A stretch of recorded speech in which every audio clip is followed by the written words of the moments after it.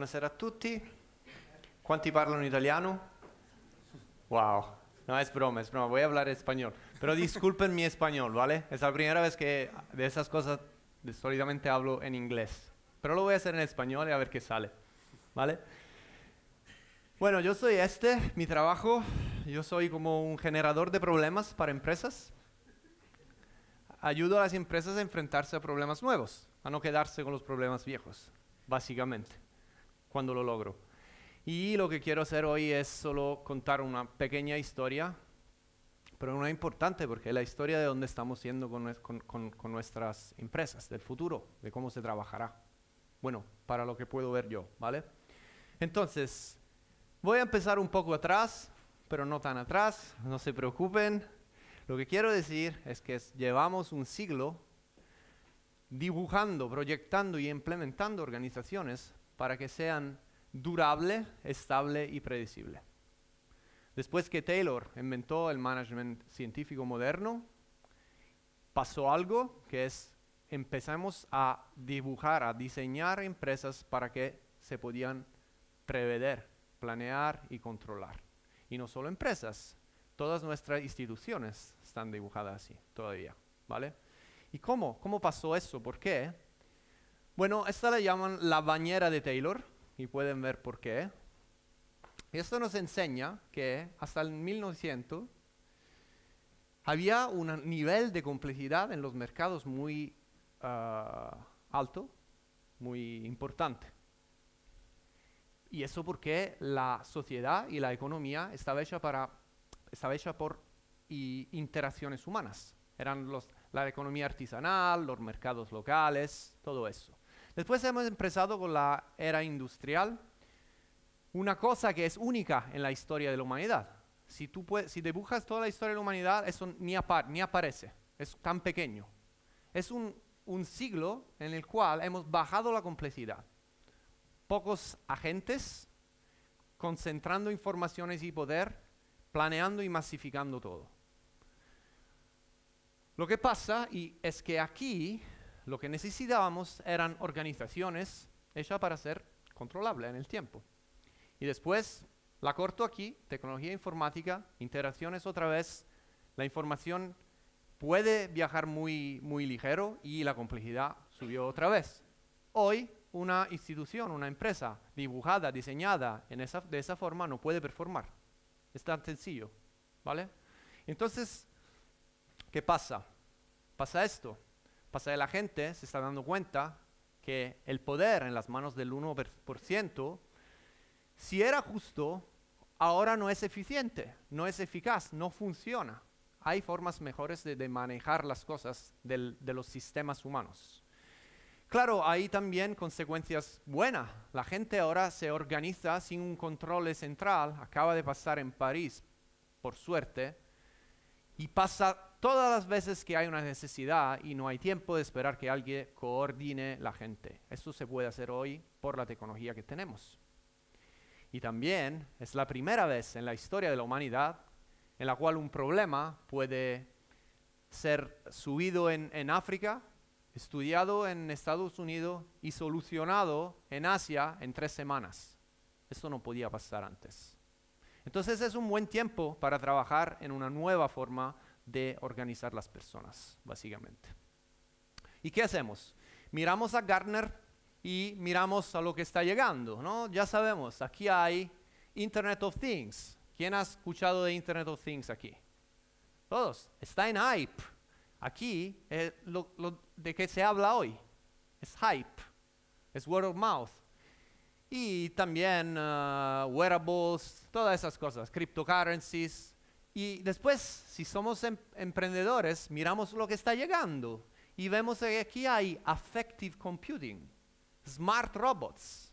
Y empezamos a pensar, ¿quién va a, quién va a llevar mis hijos al colegio? Un, co- un coche sin, sin nadie. ¿Y quién van a atender a, a un robot, un smart robot?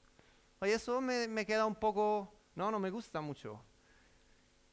Y en serio empezamos a preguntar qué va a ser de la identidad de la humanidad. ¿Cómo vamos a cambiar? Y esta es una pregunta muy profunda que nos parece que nos estamos haciendo por la primera vez. Y no es verdad. Siempre los hemos hecho. Y acabo de escuchar que la tecnología es algo que nosotros generamos y elegimos y es tan sencillo. Pero también hay otra, hay otra cosa muy importante. Si la disruption es normal en la humanidad, puede pensar a la, televisión eh, tubo catódico, a la prensa de, de, Gutenberg. Eso pasa, pasa. Y la gente tiene miedo de esto. Toda la humanidad tuvo miedo. Pero la relación entre la tecnología y el ser humano, y ahí está el miedo, es muy importante. Nosotros trabajamos con un concepto que repetimos mucho, que era de Marshall McLuhan, que dice, formamos nuestras herramientas y luego estas nos forman. Generamos nuestras tecnologías y herramientas y organizaciones y después la forma en, la cual ellas nos habilitan a trabajar forma nosotros. Lo puedo explicar con este dibujito, que ahora no es importante. Puede imaginar que este es como un río que fluye. Es un sistema humano, un sistema de personas. Puede ser una familia, una ciudad, puede ser una empresa. Y el cambio es que esto fluye y no se puede parar. La diferencia es que lo que está arriba, como en un río, fluye más ligero. Es faster. Lo que está abajo, no. Necesita más tiempo. Y ahí hay un poco de atrito. Y entonces, si todos estamos mirando que hay arriba, aquí, todos tools and processes, herramientas y procesos, estamos mirando un cambio que aquí en la gente se ha generado como 50 o 60 años atrás. Y ahora está generando tecnologías y forma de trabajar que todo puede ver y que todos pueden utilizar. Pero si queremos en serio pensar que será el futuro del trabajo, tenemos que mirar aquí, porque aquí hoy estamos generando lo que será la tecnología en, un siglo o menos, 40 años, ¿vale? Y ni está en la hype curve de, de Gardner, nadie sabe qué será, pero podemos mirar. Y es tan sencillo como decir que es it's all about people. no te puedes enfocar en tecnología si quieres mirar verdaderamente a cómo vas a ser el futuro de la humanidad. ¿Mm? Esa es mi propuesta para vosotros. Y entonces, por esta razón, nosotros trabajamos así con las empresas, colaboramos así, no con startups, con empresas multinacionales, trabajamos así, co-creamos así. Porque así las personas pueden sacar lo que saben, no solo en la parte cortical de su cerebro, pero en toda su sabiduría y personas, no, es la persona, no son las personas internas a la empresa, ni son las externas, son las necesarias para crear ese valor. Es un tema de conversar y co-crear, ya lo vamos a ver otra vez, ¿vale? Entonces, escuchando gente así, yo lo hago, son 20 años, no soy un psicólogo, ¿eh? trabajo en proceso de, empresa. Yo hemos sacado como siete cosas que están pasando en la gente y que generarán el trabajo de mañana. Y aquí pongo solo tres, pero creo que sea muy importante para entender lo que voy a decir de las organizaciones en un momento. La primera, la complejidad es la realidad. La gente eso lo entiende muy bien. ¿Quién tiene hijos aquí? ¿Cómo es la vida? ¿Es compleja o es simple? Es tan sencillo. En una empresa es lo mismo, solo que seguimos pensando que podemos planear el futuro y controlar lo que sale. No se puede, pero podemos volver a aprender cómo surfear lo que pasa. Esa es una complejidad que tenemos en, nuestro, en nuestra biología de millones de años. ¿Vale? Esto la gente lo sabe y está cansada de empresas que le dicen, el, jefe que le dice, tiene que hacer algo porque no está, las cosas están, están pasando diferente de, de cómo era el plano. ¿Vale? Otra cosa, uy, perdonen, el trabajo no es un lugar. El trabajo no es un lugar voy a, a mi trabajo no significa voy a la oficina, voy a generar valor. Algunos días tengo que ir a la oficina porque tengo que relacionarme con gente, algunos días más no. Y por estas cosas estamos generando tecnologías porque queremos, porque es nuestra conciencia colectiva ahora sabe que el trabajo no es un lugar. ¿Vale? las cosas están cambiando. Y una más, y después me paro. Pero una importante. Las herramientas son medios no metas. Todas las herramientas son cosas que generamos para lograr rectos, para generar valor. La dibujamos, la implementamos y la mejoramos. Y en eso están incluidas las empresas. Las empresas son herramientas que nosotros dibujamos, implementamos y utilizamos para generar valor. Ahora, lo que está pasando ya hoy, y ahora vamos a verlo en cinco minutos, es que no, ya no es la gente que tiene que adaptarse a la tecnología, porque no es por eso que la tecnología, la empresa está, está creada, es que la empresa hoy puede adaptarse, tenemos la tecnología, porque la empresa se adapte a la forma dinámica en la cual la gente necesita generar valor. Ese es un cambio fundamental. No es un organizational chart que tú dibujas y ahí y todos tenemos que trabajar como el plano así. Es como si el organizational chart fuera una imagen, una fotografía y ahora podemos tener un film, una película. ¿Vale? Puede cambiar. Solo que eso necesita algo que no es estable, durable y predecible, pero que es adaptable y antifrágil. Es un concepto de Nicolás Nassim Taleb, hay un, libro, se llama Antifragile. Significa que una organización que está hecha así, no soltanto, no solo no sufre del cambio, pero se pone más fuerte en el cambio. ¿Vale? Esto se puede hacer, nosotros hemos dibujado un modelo por eso, y, uh, aquí, wow. Cualquiera que sea el modelo que utilizan, cosas que están pasando en todo el mundo hoy, valores y principios puede ser más importante y sustituir roles y títulos. En, en, palabras de lean management, eh, los títulos pueden ser muda, un gasto, un waste. Puede crear cuellos de botella, puede crear problemas de muchísimas formas. Podemos hablar de los problemas que los roles y títulos y los silos crean en empresas. Otra cosa, empoderamiento y no control. No puede controlar en la complejidad la gente, porque la tiene que parar toda para controlarla. Y no vas a lograr nada. Entonces, ¿qué puede hacer? Empoderamiento significa le das poder a la gente de actuar y le das las informaciones necesarias para actuar. Y ellos hacen cosas buenas. Bueno, se equivocan. ¿Quién conoce un manager que nunca se equivocó aquí? Yo no. Es normal. El tema es cómo tú dibujas un, un, environment a donde te puede equivocar y está bien equivocarse y, seguir emparando, aprendiendo. ¿Vale? Terzo, compromiso y no comando.